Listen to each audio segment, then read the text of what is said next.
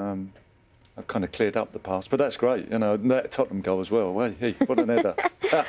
Why the book now? Twenty years sober. What what is it for you? Is it for other people? It's passing on the message for other people, really. Mm. You know, uh, all the royalties, uh, uh, all my royalties are going to the charity, my charity that I set up, Sporting Chance Charity. Uh, it's passing on the message in this dysfunctional, crazy world of professional football. I don't know another person that stayed sober for 20 years. So um, that's basically it in a nutshell. I've just written my story. Uh, of the last 20 years, how I've stayed sober in this world, in this mad world. What, what Tony, is there, a, is there a point now, as you think back, the turning point moment because people are always fascinated by mm. you. You talked a lot about how deep you were in it. I mean, yeah. you were in a lot of trouble.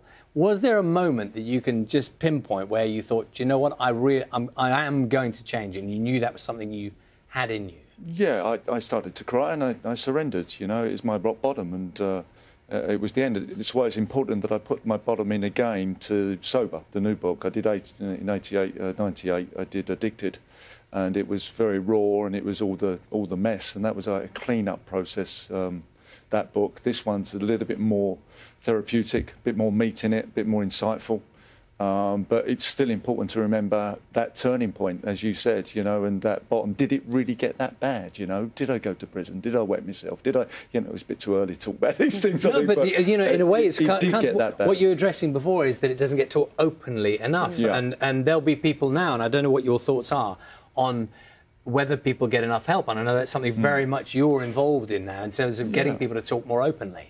I think it's a very British thing, and, and, men in particular, we don't like admitting. We see it as a weakness, maybe, to ask for help, you know, and it's it's so important to open. It's been so important for me to open my mouth and ask for help. And you know, my favourite words, that, you know, before I stopped drinking was, "I know, I know everything." You know what I mean? I know, I know. But now it's really refreshing and great to say, "Actually, I don't know that."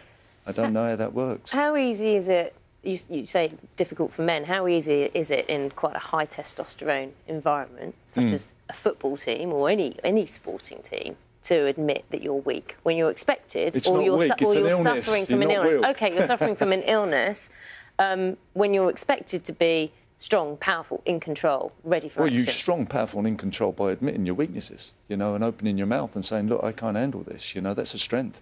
You know, we I think in the past we do get carried away with things and we think we've got to be tough, we've got to carry this stuff around. You know, I can cope, I can cope with loss and grief uh, and, and get on with it, you know, stiff up a lip type of thing. You know, it, it's not, it's been my reverse experience actually. The more I've opened up, the more people, more times I've told people that I'm full of self-doubt.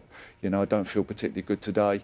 You know, it, it, the freedom with that is, is enormous, and it's just like my rock bottom when I surrendered and when I just went, I can't do this. I didn't want to drink, but I'm still getting drunk. It's the most scary place I've ever been in. You know, it's really confusing. So